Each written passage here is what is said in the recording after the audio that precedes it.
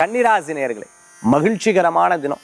சில விஷயங்கள்ல மனதளவில் சிலது பாதிச்சாலும் செயல்பாடுகளில் வெற்றி கிடைக்கும்.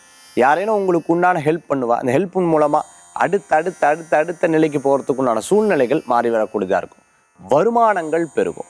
திடீர்னு கோயிலுக்கு போய் தரிசனம் பண்ணுறதுக்குண்டான சூழ்நிலை வரும். மனசில் ஒரு பெரிய ரிலாக்ஸேஷன் கிடைக்கும். ரொம்ப பிடித்தமானவாளை சந்திக்கிறதுக்கு உண்டான அற்புதமான நாள்.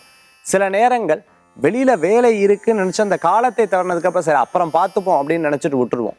முடிந்த வரைக்கும் இந்த மாதிரி செயல்பாடுகளை தவிர்த்துக்கிறது நல்லது.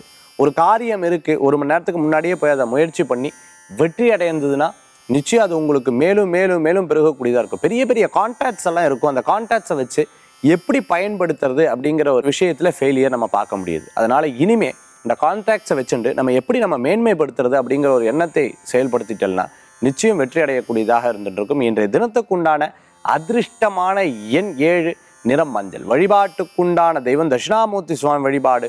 துணை நிற்கும் அற்புதமான வழிபாடு.